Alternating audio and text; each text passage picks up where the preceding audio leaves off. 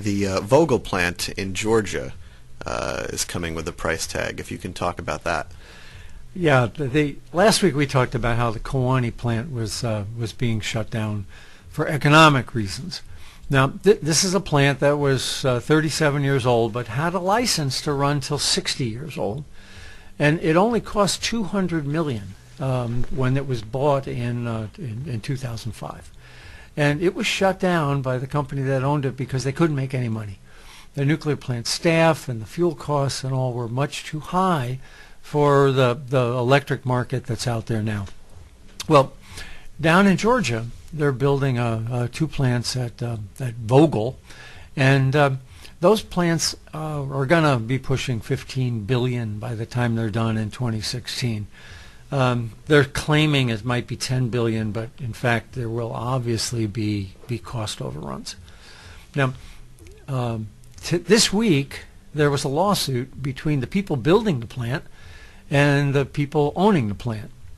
And the uh, the people building it say that the uh, cost is going to increase by almost a billion dollars, nine hundred million dollar cost increase.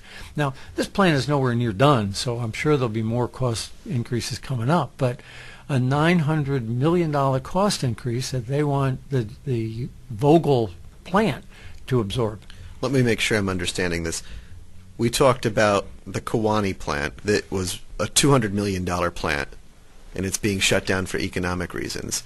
And this plant is 10 billion at minimum. Yeah, the cost increase at this plant is 900 million, which is you know five times more than the Kewaunee plant ever cost, and yet um, Kewaunee shutting down and uh, Vogtle is basically saying, "Damn the torpedoes, full speed ahead." What's their plan to make money? Well, the, the Public Service Commission in Georgia is co-opted and, and, and uh, controlled by the by the utilities that it's supposed to be regulating. And basically what they're doing is they're they're guaranteed 11% return on their money. So they're going to pony up the you know let's say use 10 billion, but they're going to get 11% for the life of the plant. This is a good deal for the utility.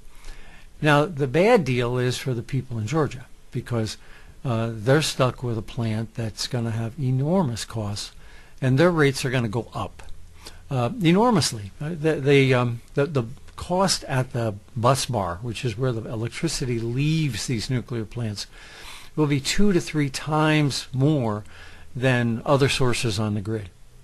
So why is Georgia doing this? It's a, it's a great question, and I, I wish I had a good logical answer. Um, I don't have a logical answer. The, um, uh, the, the Public Utility Commission is not looking out for the people of Georgia, but instead is making a real lucrative deal with the people that are building the uh, the Vogtle reactor.